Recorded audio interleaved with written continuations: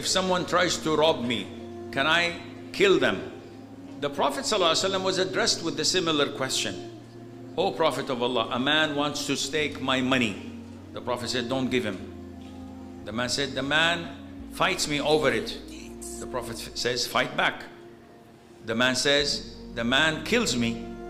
The Prophet says, You're a martyr. The man says, I kill him. The Prophet said, He's in hell. This is hadith. Huh? So it's straightforward.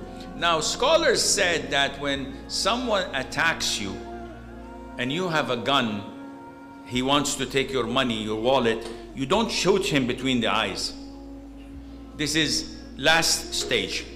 You threaten him. Listen, stay away. I will not give you my wallet. And if you come closer, I'm going to shoot you.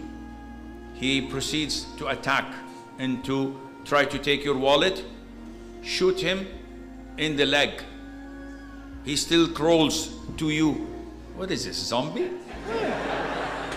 Shoot him in the arm. He still crawls to you.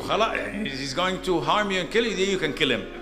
Which means that you don't go to DEFCON 4 or 5. No, you take it step by step to eliminate the harm and danger.